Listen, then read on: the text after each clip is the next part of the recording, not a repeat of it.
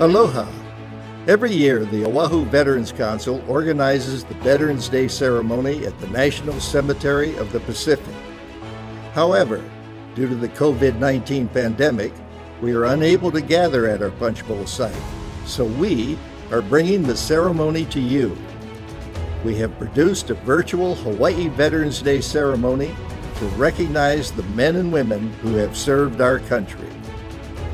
We will honor the warriors, past and present, of our own 25th Infantry Division, and we will celebrate America with special guests sharing inspiring thoughts about this day.